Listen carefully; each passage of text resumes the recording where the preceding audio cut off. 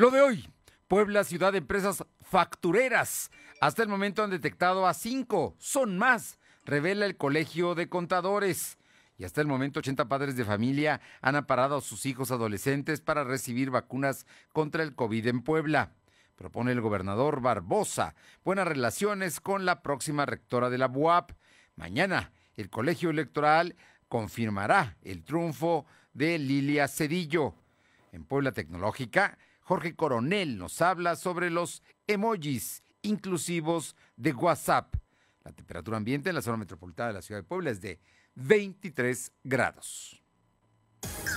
Lo de hoy te conecta. Hay bloqueos en el puente internacional. Está pidiendo el apoyo de la policía. Noticias, salud, tecnología, entrevistas, debate, reportajes, tendencias, la mejor información.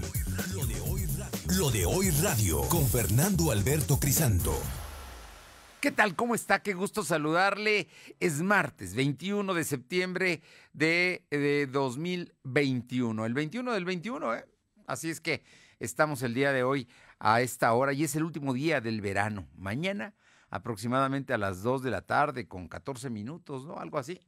Cambiará ya, entrará el otoño. Así es que, pues hay que pasar bien este último día de verano, además con luna llena.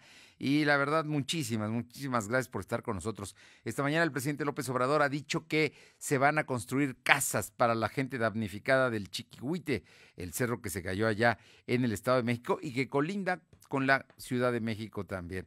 En fin, situaciones que se están dando. Además de que em, la cepa MU del COVID, así, MU, MU, ya también está en Puebla. La Organización Mundial Panamericana, la Organización de la Salud Panamericana, la OSP, ah, informó que en tres lugares de México se ha encontrado ya esta MU, la que dicen que no es más agresiva, pero habrá que ver.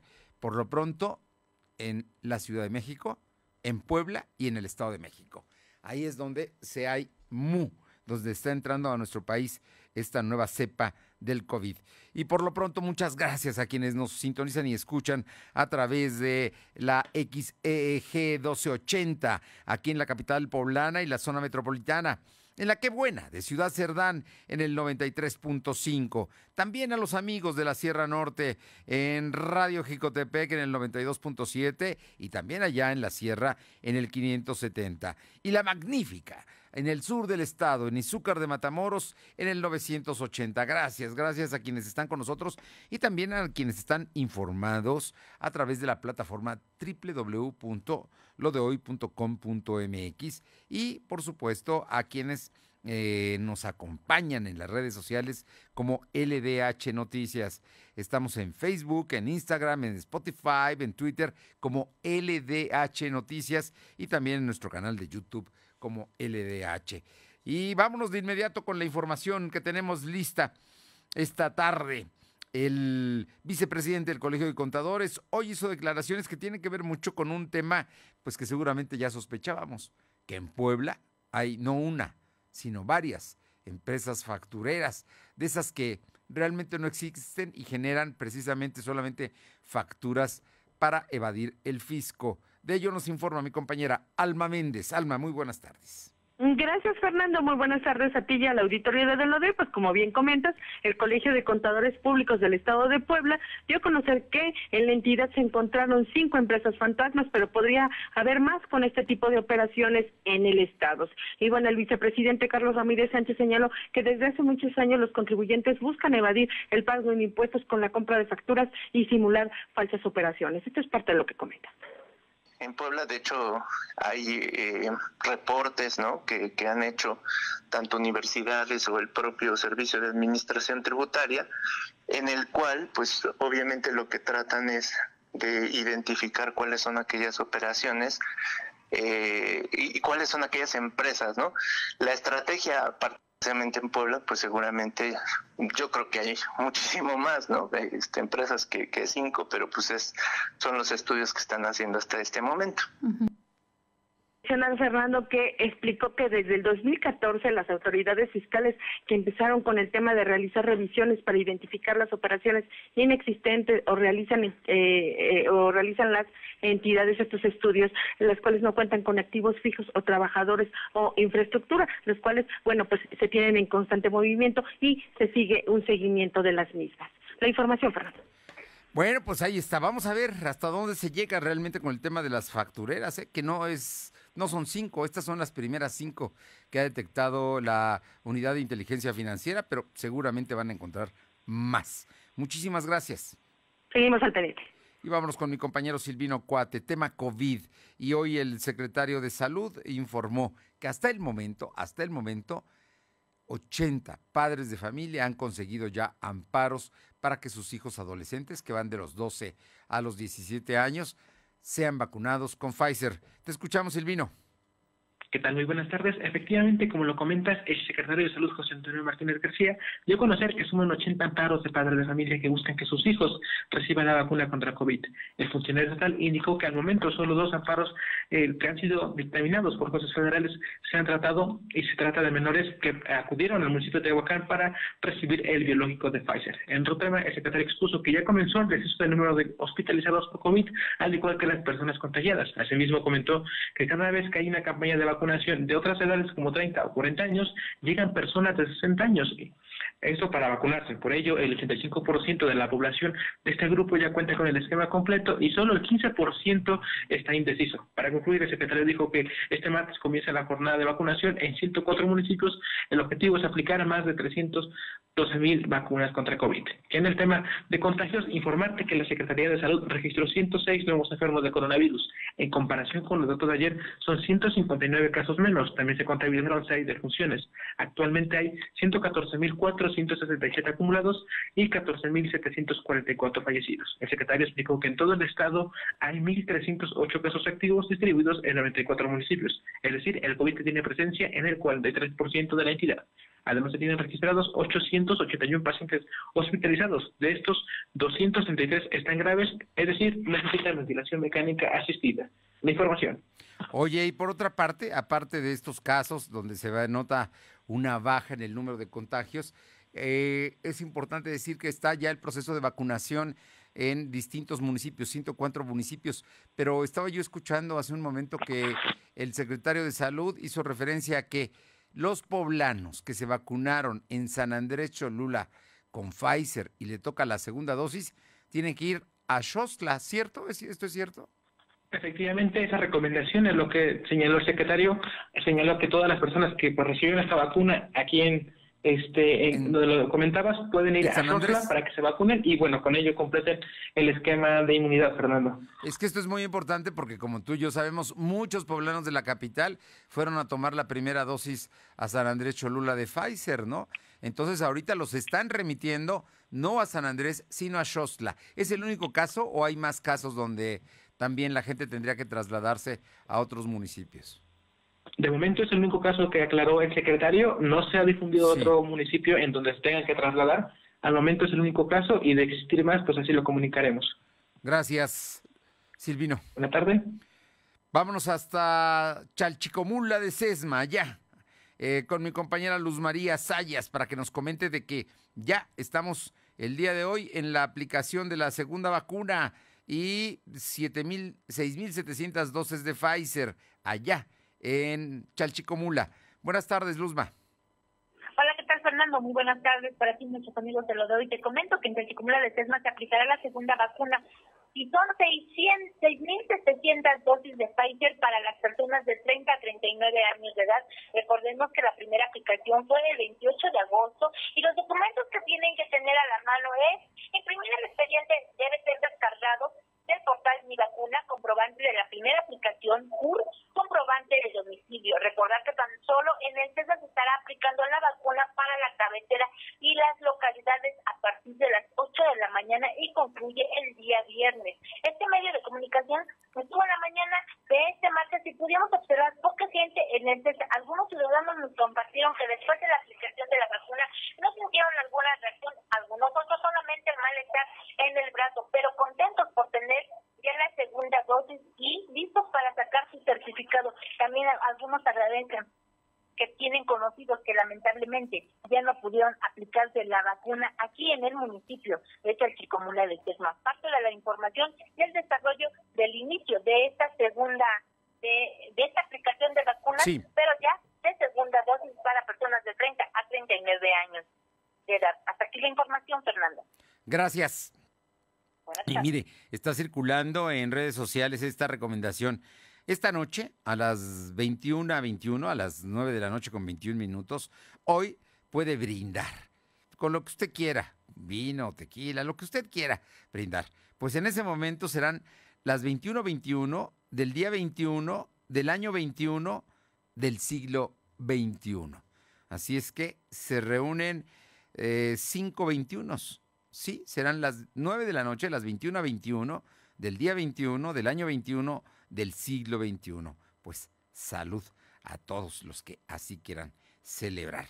Y por lo pronto le comento que vamos con mi compañera Aure Navarro, porque hoy hubo declaraciones de el eh, coordinador de, de Morena en el Congreso, que es la fracción mayoritaria, pero además también es el eh, encargado de el coordinador de la Junta, el presidente de la Junta de Gobierno y Coordinación Política, la JUCOPO, y habló de que no van a hacer un garrote contra eh, determinadas ah, autoridades que tienen autonomía. Danos los detalles, por favor, Aure. Pues efectivamente, Fernando, hoy se abordaron distintos temas y bueno, ninguno de los tres titulares de la Auditoría Superior del Estado, Francisco Romero Serrano, así como de la Fiscalía General del Estado, Gilberto Higuera Bernal, y de la Comisión Estatal de Derechos Humanos, José Félix Cerezo Vélez, pues serán parte de una cacería de brujas. Así lo confirmó el presidente de la Junta de Gobierno y Coordinación Política del Congreso local, Sergio Salomón Céspedes Peregrina, al aclarar que la actual 61 legislatura evitará ser calificada como un garrote político contra estos personajes. Y muestra de lo anterior es que la mañana de este martes también Céspedes Peregrina pues recibió al alcalde electo Eduardo Rivera Pérez, quien lo invitó para que asista a su toma de protesta el próximo 15 de octubre. De este encuentro, bueno, también ya hubo eh, en este caso manifestaciones y fue el coordinador de los diputados del PRI, Jorge Estefan Chiriac, quien reconoció la buena relación de Rivera Pérez que tiene con el gobernador Luis Miguel Barbosa Huerta, así como con el Congreso local, evitando caer, eh, dijo, en los errores que en su momento cometió Claudia Rivera Vivanco al pelearse tanto con el Ejecutivo como con el Legislativo. Escuchemos a Chiriac. una total disposición, diálogo, respeto. Muy contento en verdad que los diputados me hayan recibido en esta ocasión y esa fue la, la principal razón y motivo. Como escuchamos, bueno, pues el alcalde electo de Puebla Capital, Eduardo Rivera Pérez, acudió este martes al Congreso local para formalizar así la invitación a su toma de protesta al presidente de la Junta de Gobierno y Coordinación Política, Sergio Salomón Céspedes Peregrina, así como al resto de los diputados. Fernando. Oye, bueno, entonces estuvo Lalo Rivera ahí y de todas maneras Sergio Salomón dijo que no van a hacer garrote para eh, castigar al auditor superior Francisco Romero, al fiscal general Gilberto Higuera y al presidente de la Comisión de Derechos Humanos, ¿no? ¿Por qué han hecho algo como para que los sancionen? No, Fernando, en este sentido, bueno, esa declaración se dio a raíz del trascendido donde se había dicho precisamente que había ahí algunas situaciones indefinidas con Francisco Romero Serrano y bueno, al mismo tiempo, pues en este caso Sergio Salomón Céspedes Peregrina, pues confirmó que en este tipo de situaciones como en la auditoría o en la fiscalía, así como en la Comisión Estatal de Derechos Humanos que están tan cuestionados por algunos colectivos, pues simplemente no se iba a incurrir en contra de ellos y que bueno, solamente se actuaría en caso de que fuera un proceso que tuvieran que atender como parte de las actividades propias del Congreso. Bien, oye Eduardo Rivera, en, su en su comparecencia, en su presencia con la con los coordinadores de las fracciones eh, políticas en el Congreso del Estado, adelantó ya cuándo y dónde va a ser su toma de protesta y la hora también. Así es, el alcalde electo Eduardo Rivera Pérez confirmó que su toma de protesta será, eh, como bien lo sabemos, el 15 de octubre en el centro expositor a partir de las 13 horas, es decir, la una de la tarde. Anunció también que habrá pruebas aleatorias de COVID para garantizar el ingreso al recinto. En entrevista en la sede del Congreso local, Rivera Pérez destacó que al estar en pandemia por COVID-19, pues el ingreso será restringido a lo que permita protección civil. Señaló que previo al ingreso, pues al recinto se estarán aplicando pruebas de COVID-19 de forma aleatoria, como te mencionaba, para poder garantizar el acceso a 1.200 personas, entre ellas el gobernador Luis Miguel Barbosa Huerta y legisladores del Congreso local. Escuchemos lo que dijo. Una total disposición, diálogo, respeto. Muy contento en verdad que los diputados me hayan recibido en esta ocasión y esa fue la, la principal razón y motivo de la misma. Dentro de los propios protocolos que establece eh, para la realización del evento se estarán también realizando un porcentaje importante de pruebas aleatorias para poder llevar a cabo este evento de la toma de protesta el 15 de octubre. Como escuchamos, pues también mencionó que eh, se espera la presencia de diputados federales, senadores, así como de los presidentes nacionales de los partidos políticos que formaron parte de la coalición que lo impulsó, así como, bueno, representantes ciudadanas. Y bueno, ya del encuentro que tuvo con los diputados de todas las fracciones en el Congreso local, se dijo contento por la buena relación que mantiene con ellos, Fernando. Bueno, pues ahí está ya. Por lo visto va a ser una gran toma de posesión con un número muy importante de invitados porque el centro expositor es enorme. Ahí caben miles de personas para un evento de esta naturaleza. Muchas gracias. Gracias. Y México tiene su propio estilo y lo encuentras en Explanada Puebla. Además, en Explanada Puebla te puedes divertir a lo grande. Visita la feria, rescate táctico, arena y el contender. No olvides que también puedes traer a tus mascotas. Visita Explanada Puebla y pásala increíble. Son las 2 de la tarde con 16 minutos. Lo de hoy es estar bien informado. No te desconectes. En breve regresamos. Regresamos. Con Coppel, este mes del bebé crecemos juntos. Encuentra andaderas, carriolas, sistema de viaje, silla alta y bouncer con hasta 20% de descuento. Prendas de polar para bebés con lindos diseños y estampados desde 119 pesos de contado. Y una gran variedad de zapatos baby colors desde 18 pesos quincenales. Mejora tu vida. Coppel. Vigencia del 1 al 30 de septiembre de 2021. Yo soy joven. Yo soy mujer. Yo soy profesionista. Yo voy con Nueva Alianza Puebla. Respeto. Igualdad. Honestidad. Justicia. Transformando nuestra Puebla desde nuestro lugar. Porque trabajamos para todos y todas. Logrando cambios positivos que benefician a cada colonia, a cada municipio y a ti. Porque Nueva Alianza Puebla somos todos y todas. Únete. Rescatemos a Puebla con una educación con valores. Nueva Alianza Puebla. Somos la mejor red de telecomunicaciones en México para tu negocio. Conecta tus oficinas y sucursales con la red más poderosa de servicios a través de conexiones de Internet o redes privadas virtuales con la máxima velocidad de conexión de hasta un gigabit por segundo. Descubre la red que tu negocio estaba esperando. Metro Carrier Evolution 3396 96000. Antes solo tenías una cocina, luego le sumaste una cafetera y ahora con el dinero electrónico que ganaste con Coppel Max te compraste la mejor tostadora del mercado. Para ti que siempre quieres Max, tenemos Coppel Max. Si tienes crédito Coppel, todas tus compras y abonos puntuales consecutivos suman dinero electrónico para futuras compras. Conoce más en coppel.com. Coppel Max, programa de recompensas. Ahora, los derechos de los pueblos originarios y las comunidades de afrodescendientes son reconocidos y protegidos en nuestra Constitución. El Senado reformó la Constitución y aprobó leyes para salvaguardar los elementos de su cultura e identidad. Así como parte de la composición pluricultural de la nación, se garantiza su libre determinación, autonomía, desarrollo e inclusión social. Senado de la República. Sexagésima quinta legislatura. Lo de hoy es estar bien informado. Estamos de vuelta con Fernando Alberto Crisanto. La tecnología es lo de hoy. Mantente conectado. Bien, y está con nosotros el doctor Jorge Luis Coronel Fuentes, profesor investigador del Tecnológico de Monterrey, Campus Puebla y consultor en marketing digital. Y mire, su cápsula de hoy vale, vale, siempre valen mucho la pena. Esta tiene su detalle. En Puebla Tecnológica, Jorge Coronel nos habla sobre los emojis inclusivos de WhatsApp. Jorge Luis, muy buenas tardes. Amigos de lo de hoy, como siempre, un placer saludarles. Mi nombre es Jorge Coronel y hoy estaremos hablando de algo social que afecta la tecnología o que la tecnología incide en lo social. En este caso debo decir que creo que las tendencias sociales son quienes están ya afectando algunas plataformas de interacción social, por ejemplo en este caso WhatsApp. ¿Y de qué estamos hablando? Bueno, pues que hoy las redes sociales se vuelven más incluyentes El ejemplo es WhatsApp, que ahora ofrece emojis de un hombre embarazado y personas no binarias, ¿no? Cada vez son más las empresas que se suman a esta tendencia de intentar ser inclusivos y dar visibilidad a la comunidad LGBT.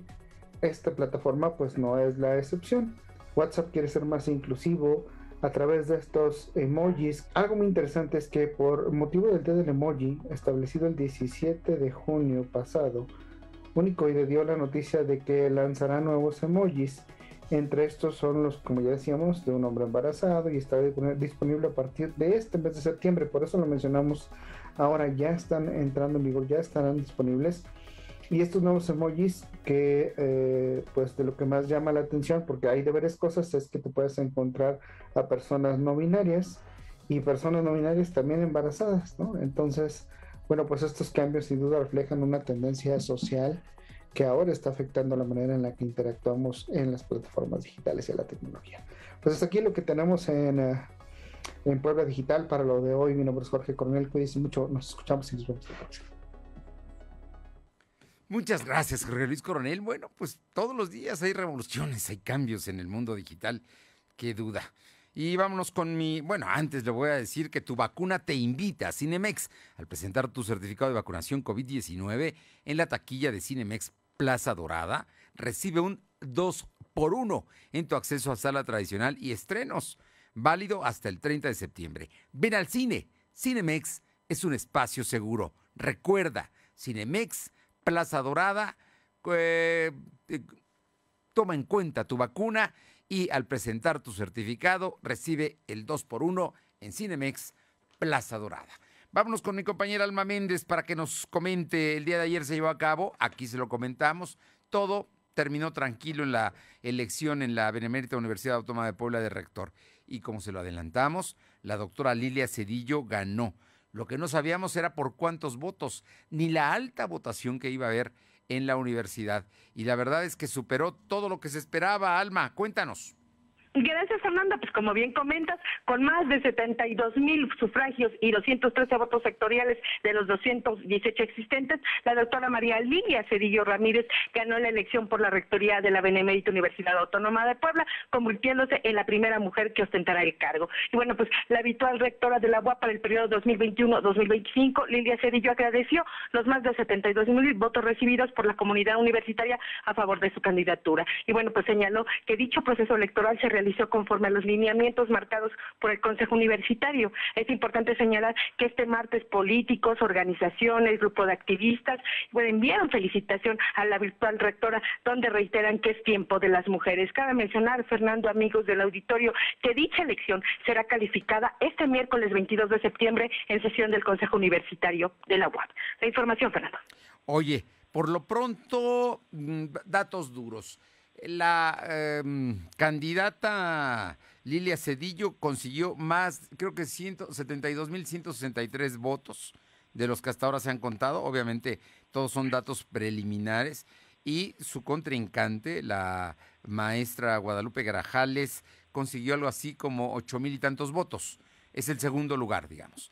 Entre 72 mil y 8 mil, pues hay una diferencia enorme. Gana casi todas las unidades académicas, solamente pierde lo que es el voto que le llaman selectivo, en, son los consejeros estudiantes y consejeros maestros. Tuvo votos ahí, pero fueron más para eh, Lupita Grajales, los votos de maestros y estudiantes, y el eh, coordinador, el director de la, de, la, del Instituto de Ciencias Sociales y Humanidades, ese sí, no votó. Fue el único director que se abstuvo de todas las unidades académicas que son 43, ¿no? Las que hay en, en, la UAP.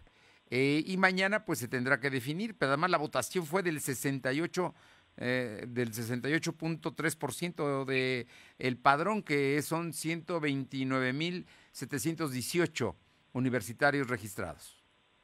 Así es, Fernando, tal cual comentas, efectivamente eh, se alcanzó una votación alta y efectivamente eh, dentro del padrón sí están marcados eh, más de 129 mil en, en, el padrón universitario, como bien comentas. Bueno, pues así es que el triunfo fue contundente, no hay duda, y mañana deberá ser calificado. Ayer mismo la doctora Cedillo envió un comunicado diciendo que prudencia, que ella no iba a hacer manifestaciones, agradecía el apoyo que había recibido, pero no habría manifestaciones triunfalistas ni nada que se parezca hasta que no sea validado por el colegio electoral en que se convertirá el Consejo Universitario de la UAP. ¿Sí? Así es, Fernando. Eh, ya estaremos esperando el día de mañana cuando se ratifique precisamente esta, este triunfo. Y bueno, pues eh, eh, estaremos ya buscando a la doctora el día jueves para que nos comente precisamente este, bueno, qué es lo que viene para la UAP en los próximos días. Ella toma posesión el lunes 4 de octubre.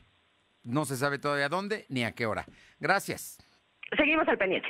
Vámonos con mi compañero Silvino Cuate, porque del tema de la UAP y de el triunfo de Lilia Cedillo habló este día, esta mañana, el gobernador Barbosa.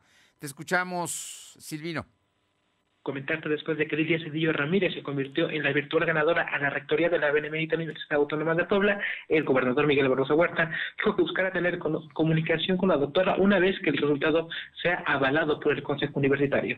El titular del Poder Ejecutivo dijo que con la llegada de Lidia Cedillo se vienen buenos tiempos en la universidad y un nuevo estilo en el ejercicio de la rectoría. Además, Barroso Huerta celebró que la comunidad universitaria haya desahogado el proceso electivo de una nueva forma y además donde hubo democracia y transparencia. Escuchemos parte de lo que mencionó el mandatario.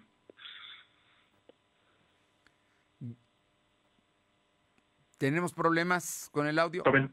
Bueno, comentarte que el gobernador evitó abundar en su respuesta, pues consideró que podría cometer error de expresión donde se piense que la administración estatal estaría a favor de un personaje. Ya en otro tema, comentarte que el gobernador aseguró que se aplicaría la ley en el caso de violencia contra una menor de edad y una joven con síndrome de Down, quienes sufrieron maltrato por parte de su abuela en Tecamachalco. El mandatario explicó que el DIF estatal ya brindó protección a la niña y a la joven quienes acusan que sus abuelas y su madre y su madre quemaron el rostro de, con un cuchillo y además se le cortó el cabello como castillo, castigo. Perdón. Barroso Huerta lamentó que las relaciones intrafamiliares se hayan descompuesto tanto y lleguen a estos puntos de regresión que consideró revelan una falta de salud mental por parte de la mujer que provocó dicha lesión. La información.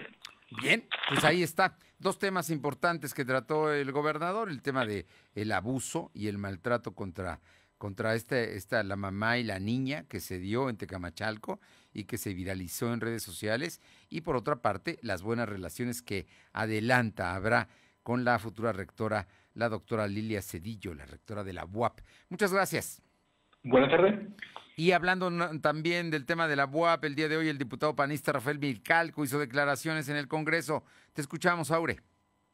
Efectivamente, como integrante del Congreso local, el diputado por el PAN, Rafael Micalco Méndez, resaltó la participación que tuvo el proceso autónomo de la UAP para la renovación de la rectoría, la cual estará ocupada por primera vez por una mujer, la científica Lilia Cedillo Ramírez, a partir del 4 de octubre. Destacó la forma en que la UAP desarrolló el esquema de votación a partir del uso de nuevas tecnologías, que tomaron mayor presencia a partir también de la emergencia sanitaria por COVID-19 y que permitió en este escenario pues hacer la participación virtual este 20 de septiembre. Escuchemos.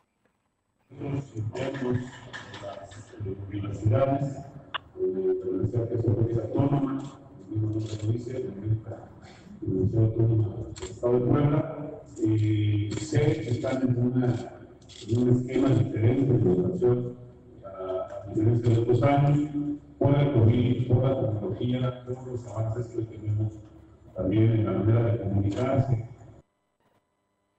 Rafael Micalco reconoció que si bien aún falta el último paso para que el Consejo Universitario formalice el nombramiento de Lilia Cerillo como la primera rectora de la UAS, pues destacó que él es respetuoso de los tiempos, así como de la autonomía que se vive en la máxima casa de estudios, Fernando. Bueno, pues ahí está el tema, ¿no? Los diputados también reconociendo el todo, lo que ayer fue un hecho sin duda sin precedente, inédito en la UAP, elecciones en casillas electrónicas con votos electrónicos y con una participación de casi el 70%, siete de cada diez universitarios eh, emitió su voto, su derecho a voto. Estás hablando de estudiantes, académicos, trabajadores administrativos, autoridades. Un asunto verdaderamente importante lo que ayer vivió la UAP. Muchas gracias. Gracias. Son las 2 de la tarde con 29, 2.29. Lo de hoy es estar bien informado. No te desconectes. En breve regresamos. Regresamos. Con Coppel, este mes La vacunación contra la COVID-19 sigue en marcha. Están llegando millones de dosis eficaces y seguras aprobadas por organismos en todo el mundo. Muy pronto será tu turno. Visita mivacuna.salud.gov.mx. Recuerda, la vacunación es universal, gratuita y voluntaria. Cuidémonos entre todos, vacúnate y no bajes la guardia. Gobierno de México. Este programa es público ajeno a cualquier partido político. Queda prohibido el uso para fines distintos a los establecidos en el programa. Con Coppel, este mes del bebé crecemos juntos. Encuentra andaderas, carriolas, sistema de viaje, silla alta y bouncer con hasta 20% de descuento. Prendas de polar para bebés con lindos diseños y estampados desde 119 pesos de contado. Y una gran variedad de zapatos baby colors desde 18 pesos quincenales. Mejora tu vida. Coppel. Vigencia del 1 al 30 de septiembre de 2021. ¿Mejores herramientas para tu negocio? ¡Bah! Contrata el nuevo paquete de Megacable para tu empresa. Con internet ilimitado 50, dos líneas de teléfono fijo y además una línea móvil con 10 gigas para navegar y llamadas ilimitadas por 520 pesos al mes. ¡Va! De Megacable Empresas. Siempre adelante contigo. 33 96 90 0090. Tarifa promocional. En México disfrutamos mucho de nuestras tradiciones, por eso este mes patrio en Coppel queremos que las disfrutes al máximo. Encuentra pantallas desde 220 pesos quincenales, bocinas Bluetooth desde 58 pesos quincenales, asistentes de voz desde 130 pesos quincenales y la mayor variedad de productos a tu alcance. Mejora tu vida. Coppel. Vigencia del 1 al 30 de septiembre de 2021. Somos la mejor red de telecomunicaciones en México para tu negocio. Conecta tus oficinas y sucursales con la red más poderosa de servicios a través de conexiones de Internet o redes privadas virtuales con la máxima velocidad de conexión de hasta un gigabit por segundo. Descubre la red que tu negocio estaba esperando. Metro Carrier Evolution 3396 96000. Lo de hoy es estar bien informado. Estamos de vuelta con Fernando Alberto Crisanto. Los personajes de hoy, las ideas y los hechos se comparten en la entrevista.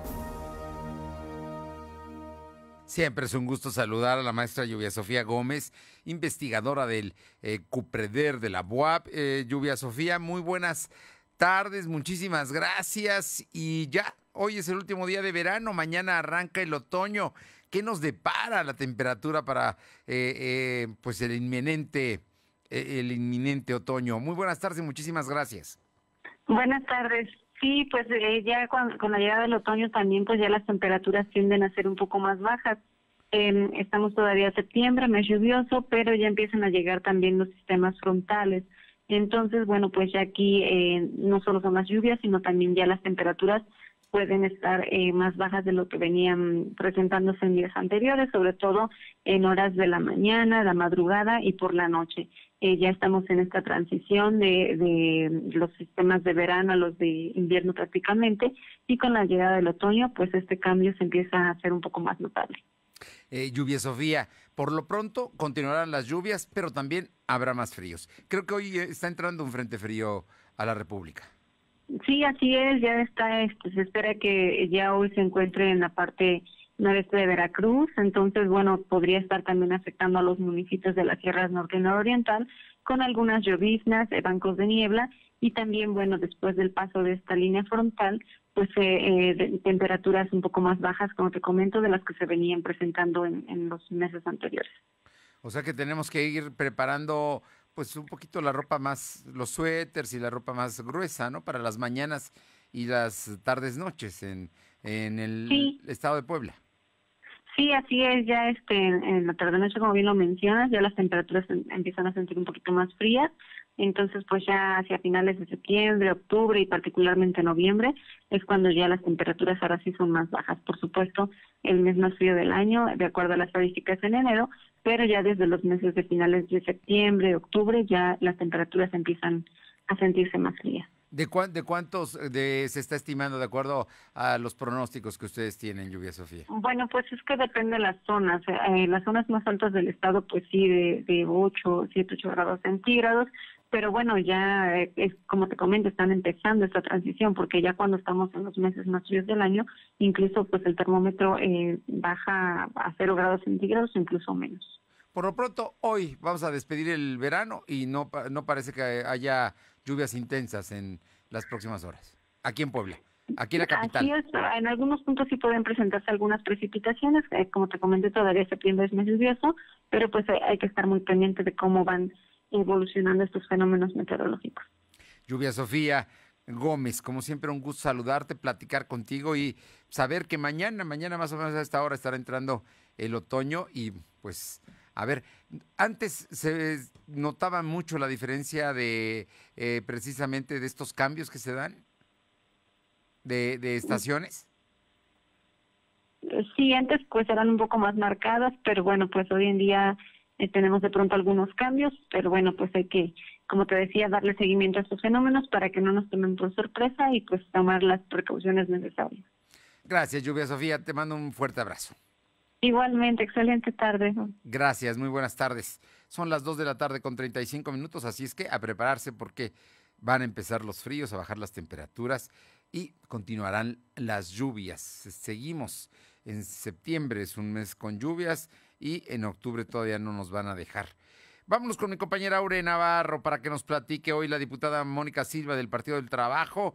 Habló de un asunto que es importante, que se revisen bien las iniciativas que se van a dictaminar para que no se vuelvan inconstitucionales. Y mira que ella es abogada y, y sabe de esto. Aure, ¿cómo estás? Pues efectivamente, Fernando, la diputada local Mónica Silva Ruiz se pronunció porque todas las iniciativas que se busquen aprobar, incluidas las del gobernador Luis Miguel Barbosa Huerta, bueno, primero tienen que ser revisadas con anticipación para evitar caer, así como bien lo decía Fernando, en una acción de inconstitucionalidad. La emanada del Partido del Trabajo en el Congreso local aclaró que esta práctica será aplicada a todas las propuestas nuevas de reforma, puntos de acuerdo e iniciativas, así como de aquellas que cada grupo parlamentario pues está intentando ya rescatar de la congeladora. En este caso, Silva Ruiz aclaró que en el caso específico de las iniciativas enviadas por el Ejecutivo local, pues estas además de ser analizadas por los integrantes de las comisiones, también se inscribirán al resto de los diputados para que los 41 tengan participación en dicho estudio, Fernando. Bueno, pues ahí es el, el, asunto ahí está. Vamos a ver si, si cómo funcionan, porque la verdad es que la legislatura anterior, la número 60, fue una legislatura de pena ajena, ¿no? Le, le rebotaron un número muy importante de iniciativas que fueron declaradas inconstitucionales, ya sea porque hubo recursos de la Fiscalía General de la República o hubo recursos de la Comisión de Derechos Humanos. Así es, Fernando, recordemos que sí, ese tipo de situaciones se vio y se vivió de muy de cerca en la eh, legislatura que terminó y bueno, es por ello que precisamente esta diputada hace el llamado para que todas las iniciativas, sin hacer distingo, pues sean revisadas en su totalidad por, por los 41 legisladores y no solamente se resuma al análisis o revisión que se hace en comisiones. O sea, no se necesita solo consensos acuerdos de las fracciones políticas. Se necesita que tengan fundamentos legales para que no sean regresadas por eh, la Corte por no cumplir con eh, precisiones constitucionales. Oye, y pasando a otras cosas, parece que a Néstor Camarillo, el dirigente estatal del PRI y diputado priista, le urge la chamba, ¿no? Como que quiere colocar, es lo único que, le, busca, trabajo para sus incondicionales. Y ya quiere colocar gente eh, con Eduardo Rivera. Pues efectivamente, el dirigente estatal electo del PRI, Néstor Camarillo, confirmó que está a la espera de que el alcalde electo Eduardo Rivera Pérez pues anuncie que otros y cuántos priistas más se estarán sumando a su gobierno de coalición. Reconoció que por ahora, producto de las últimas reuniones, como la de este martes en la sede del Congreso, pues Rivera Pérez no ha manifestado cuántos espacios más estaría abriendo, pero aseguró que se habla de varias participaciones de hombres y mujeres. Entre ellas adelantó que pudiera surgir la de Silvia Tan por su parte, Jorge Estefan Chidiac se dijo confiado en que Rivera Pérez pues mantenga los acuerdos de, incluir más perfiles en su gobierno de aquellos partidos que lo respaldaron en su aspiración exitosa, tales como recordemos, bueno, el PRI en este caso, así como el PAN, el PRD, Compromiso por Puebla y PSI. Y bueno, ya en este contexto, por su parte, la dirigente del Partido Acción Nacional, Genoveva Huerta Villegas, aseguró que todos los alcaldes electos, incluido Rivera Pérez, emanados de su instituto político, pues tienen la obligación de dar buenos resultados desde los primeros días, asegurando que con el edil electo, Eduardo Rivera Pérez, pues hay una relación institucional que prevalecerá pues los siguientes años. En este sentido, eh, Genoveva Huerta también confirmó que existe una buena relación con Rivera Pérez, a pesar de todas las situaciones y críticas que se han dado por un supuesto distanciamiento distanciamiento, Fernando.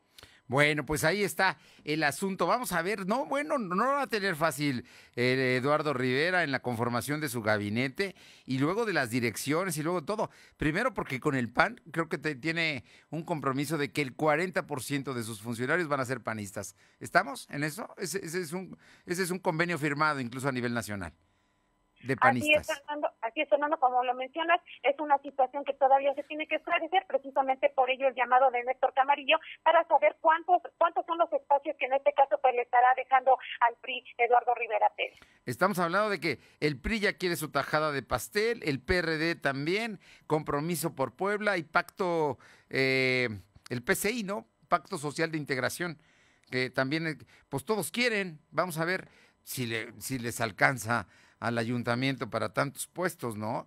Yo lo dudo, pero habrá que esperar, habrá que esperar a ver qué es lo que sucede y las decisiones que toma el presidente municipal, el próximo presidente municipal, actualmente presidente municipal electo Eduardo Rivera Pérez. Muchísimas gracias, Aure. Gracias. Vámonos con mi compañero Silvino Cuate, tiene más información. Y es que, bueno, el, tema de que eh, hay riesgos en el socavón de Juan Cebonilla, este socavón que de pronto se volvió atractivo turístico y ya casi ni se acuerdan de él, pero ahí está, eh, aquí muy cerquita de Puebla, 20 minutos de la capital. Pues cuéntanos, Silvino, ¿qué dice el gobernador sobre este asunto del socavón? Que el Estado, por, para evitar riesgos, debe estar muy atento a lo que sucede ahí comentarte que después de que se difundió que en las inmediaciones del Socavón y Juan Cebonilla se detectó que podría ser dos oquedades de menor tamaño, el gobernador Miguel Barroso Huerta instruyó a la Secretaría de Medio Ambiente Estatal solicitó, solicitando un segundo estudio por el Instituto Politécnico Nacional para profundizar sobre dicho supuesto y, de ser el caso, ampliar el perímetro de la zona. Barroso Huerta dijo que hay una relación formal entre el gobierno estatal y el IPN. Además, esa institución respalda los resultados que en un principio se mostraron por el Socavón. En ese mismo sentido, dijo que hay pláticas con, con agua para revisar el tema de la extracción de agua y decir que se comprobarse que esto es lo que generó socavón, se podrían cancelar las empresas. Escuchemos parte de lo que menciona el gobernador. Ayer mismo hablé con la secretaria de Medio Ambiente para poder pedir eh, una segunda, un segundo informe sobre la evolución de los estudios que se han hecho en el tema del socavón y fui informado que está restablecida la relación ya de manera institucional con el Politécnico Nacional, que hay un intercambio de requisitos, pero que están trabajando en ellos. Que lo hecho por los científicos que están acá está reconocido plenamente por el Politécnico también comentarte que por su parte la Secretaría de Gobernación, Ana Lucía Gil Mayoral, informó que la medida del socavón se mantiene en su eje mayor con 126 metros y en su eje menor en 123 metros. La información. Bueno, pues ahí está, ahí está el tema de, el gobierno del estado pendiente de lo que ocurre. No ha crecido el socavón, se quedó en 126 metros eh, en su eje mayor y 123. Mm, no es una circunferencia exacta, pero está muy cerca de, de conseguirlo y, y bueno, vamos a ver qué es lo que está pasando. Y luego, pues ahí siguen por las lluvias los derrumbes en la Sierra Norte, ¿no? Efectivamente, la secretaria dijo que las lluvias generadas con un, derrumbe en Chicotepec y en Pantepec, y en esos lugares, pues ya la protección civil ya acudió al lugar y también están eh, limpiando la zona precisamente para que los vehículos puedan transitar sin algún incidente. Fernando. Oye, Silvino, y por otra parte, cuéntame, eh, el día de hoy se habló de la violencia contra las mujeres aquí en el municipio poblano, en la capital comentarte que la directora de Prevención de Discriminación y Vigilancia de Género de la Secretaría para la Igualdad Sustantiva del Ayuntamiento, Abigail Báez, dio a conocer que en lo que va de la pandemia, la violencia familiar en las 17 juntas auxiliares del municipio ha incrementado un 26%. La funcionaria municipal dijo que según estudios realizados en juntas auxiliares revelan que dio más protagonismo a la figura masculina en el espacio privado, lo que generó un aumento a las discusiones y otro tipo de violencias en la familia. Comentó que dicho estudio también revela que algunos varones encuestados admitieron que se involucraron más en algunas labores del hogar, sin embargo reconocieron que tuvieron constantes peleas con su pareja. Además, el 6% de los hombres encuestados incurrió con actos de violencia más grave contra su pareja. Por separado, Abigail Rice dijo que hasta el último corte de la dependencia bajo su cargo se han registrado 32 quejas por violación y acoso laboral al interior del Ayuntamiento de Puebla. La información. Bueno, pues ahí está el asunto de eh, el tema este de la violencia que se está dando en Puebla y de todo lo que tenemos que hacer y de que como sociedad tenemos que cambiar porque la violencia se da mucho en el en casa, ¿no? Es, es, es uno de los grandes temas efectivamente lo que señalaba es que pues varias personas a veces se quedaron sin empleo, esto por la pandemia, ello, esto genera que pues la convivencia incrementa al interior de los hogares, no obstante, pues las conductas violencias hacia las mujeres están incrementando, Fernando. Está, y también el acoso laboral, ojo, pendiente de este tema que es delicado, porque es también delito. Gracias. Buena tarde. Bueno, y este mes patrio la despensa centralera lleva a tu hogar los mejores productos, la misma calidad y precio de la central de abasto en verduras, frutas y cortes de carne, sin costo de envío hasta tu domicilio. Marca o manda un WhatsApp al 222 379 0101. No salgas de casa y compara precios. Nosotros te ayudamos a realizar tu despensa semanal. Compra tu despensa desde 285 pesos por México, Puebla y sus mercados, con tu compra apoyas a la economía poblana. La despensa centralera, al WhatsApp o al teléfono 222-379-0101. Vamos con mi compañera Alba Méndez, la FROC, eh, con labor. Habla hoy del tema de las negociaciones para los contratos colectivos. Te escuchamos, Alma. Gracias, Fernando. Pues comentarte que la con Labor afirmó que seguirá apostando por la política de retabulación y no por el incremento de porcentajes en las negociaciones que llevarán por las revisiones salariales y contractuales en Puebla. El secretario general René Sánchez Juárez mencionó que tiene muy claro que no se puede sacrificar los puestos de trabajo a cambio de un incremento salarial, por lo que seguirán defendiendo las plazas laborales y peleando por mejorar las percepciones económicas de sus agremiados. Y bueno, pues refirió que los contratos colectivos de trabajo que representa la organización están basados en entre salarios mínimos hacia arriba, además de prestaciones, por lo que una retabulación los obreros reciben entre 15 a 20% más de su salario base. La información, Fernando. Bueno, pues vamos a ver, ¿no? No va a estar fácil la negociación y menos con la nueva ley, ¿no? Y el todo el tema de ahora las juntas de conciliación que van a dejar de actuar y que va a haber juzgados laborales, en fin, el tema laboral se viene importante. Oye, y en torno al tema de la acción poblana, de hoteles y moteles. ¿Qué dicen del tema turístico? La Asociación Poblana de Hoteles y Moteles dio a conocer o le dio la razón al gobernador Luis Miguel Barbosa de que se tiene que trabajar con el, turismo nacional y con el de la entidad. Sin embargo, esto no se logrará si las autoridades como empresarios siguen trabajando por su lado. Esto después de que el gobernador Luis Miguel Barbosa mencionó en su rueda de prensa de todos los días que para impulsar la recuperación del turismo en la entidad se debe promover el consumo interno. Y bueno, pues en la entrevista con lo de hoy, el presidente Manuel Domínguez Gaviana aseguró que hasta el momento el proyecto que presentó en la anterior Secretaría de Turismo no se, no ha echado a andar, por lo que se espera que lo más pronto posible eh, se haga. Y dijo que el Ejecutivo Estatal tiene un poco de razón, ya que los poblanos no conocen el Estado. Esto es parte de lo que comenta. lugar eh, no playa a nivel nacional y hoy estamos en los últimos, ¿no? Tenemos que volver a ganar esos lugares pero no lo vamos a lograr si cada quien trabaja por su lado. Creo que es hora de trabajar todos en conjunto y hacer grandes cosas eh, sí se necesita una gran cabeza, una cabeza que dirija el turismo y desde ese desde esa cabeza pues eh, nos unan y se empieza a trabajar el turismo poblano. La información, Fernando. Oye, y cuéntame, que, por cierto, hablando de turismo y de las cosas que tenemos que presumir, terrible el día de hoy que hayan vandalizado la, una de las puertas de la iglesia de San Cristóbal allá en la 6 Oriente y 4 Norte.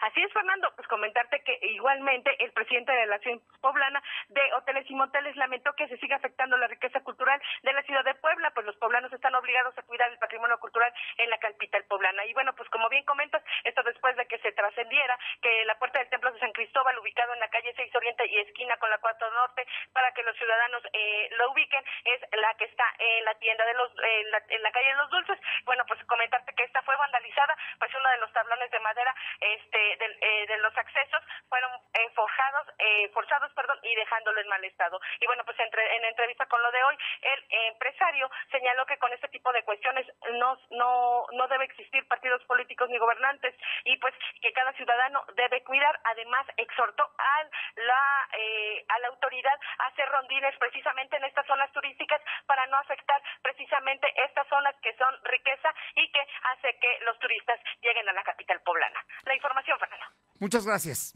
Son las 2 de la tarde con 50 minutos, 2.50.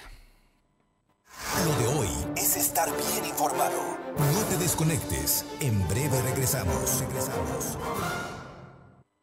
Con Coppel, este mes del bebé crecemos juntos. Encuentra andaderas, carriolas, sistema de viaje, silla alta y bouncer con hasta 20% de descuento. Prendas de polar para bebés con lindos diseños y estampados desde 119 pesos de contado. Y una gran variedad de zapatos baby colors desde 18 pesos quincenales. Mejora tu vida. Coppel. Vigencia del 1 al 30 de septiembre de 2021.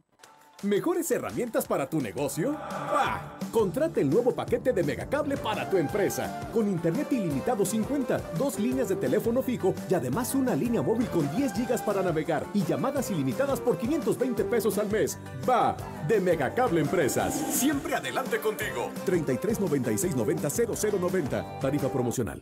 La COFESE trabaja para que tú puedas elegir los productos y servicios que más se ajusten a tu bolsillo y a tus necesidades.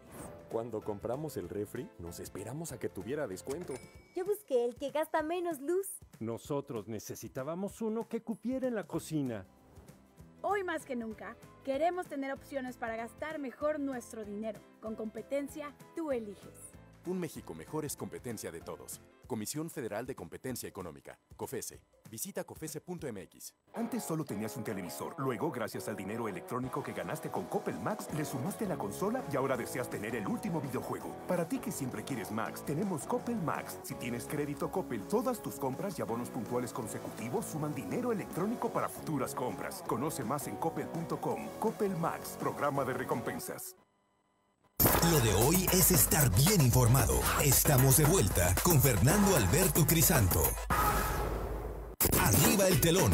El show está por comenzar.